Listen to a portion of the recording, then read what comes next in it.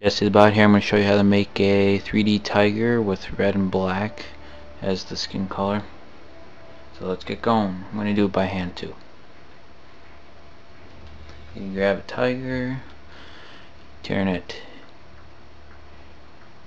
red, then duplicate it, turn it black.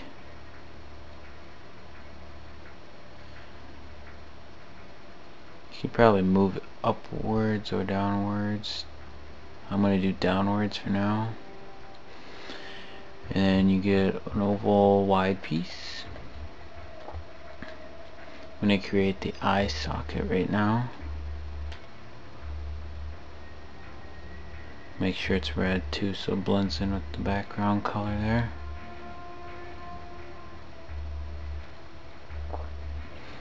Then just duplicate it and put it on the other side. And then duplicate it again and then change it to a black then switch the position of it rotate it make sure it's above.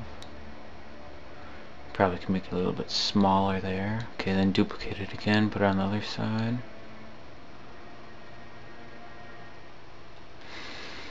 Okay then we get paw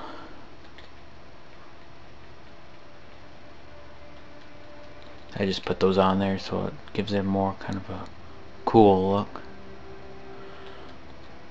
Okay then turn that red. Duplicate it again turn it black.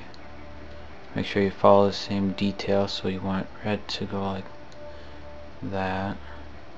Okay then duplicate it again put it on the other side